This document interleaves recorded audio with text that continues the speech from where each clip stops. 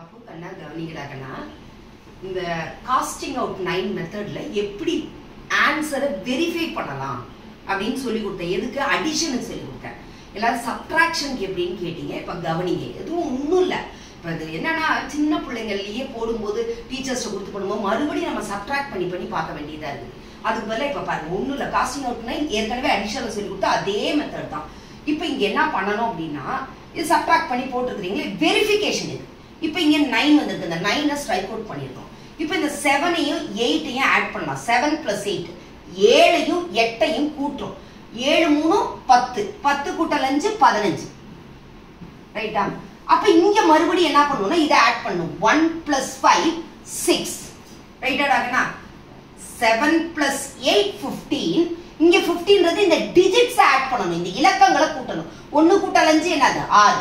அதே மாதிரி இங்கே ஏதாவது ஆட் பண்ணா நைன் வருதான்னு பாருங்க. எஸ் இந்த ரெண்டையும் ஏழையும் கூட்டினா ஒன்பது வருது. டூ பிளஸ் செவன் நைன் இப்போ இங்கே என்ன ரிமைனிங் இருக்கு? த்ரீ சரியாடா கண்ணா? அப்ப என்ன? அதே மாதிரி இங்க. ஏதாவது ஆட் பண்ணா நைன் வருதா? இல்ல.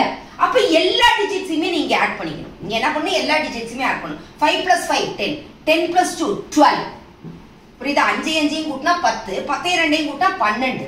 ரைட்டுங்களா இப்போ என்ன பண்ணணும்? இந்த ஒன் பிளஸ் டூ கூட்டணும்.